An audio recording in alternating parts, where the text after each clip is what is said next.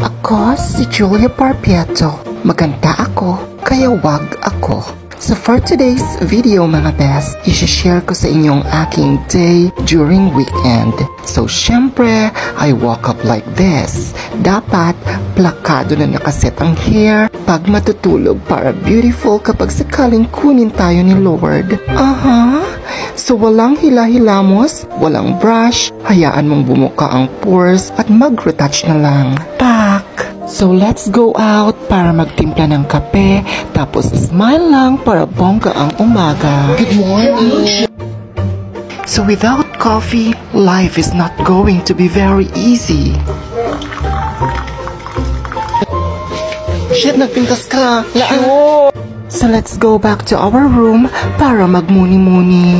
Huwag na po nating ayusin ang bed kasi hihigaan lang din mamayang gabi. Aha!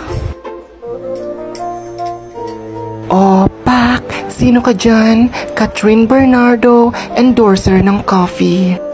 Thank you so much, sister, for this very beautiful gift. Ayan, Marimarang Peg. At ito naman, ang Festival Queen. Anyway, 3D po siya. So let's prepare the things that are needed in order for us to begin with our makeup transition content sa TikTok. Uh-huh.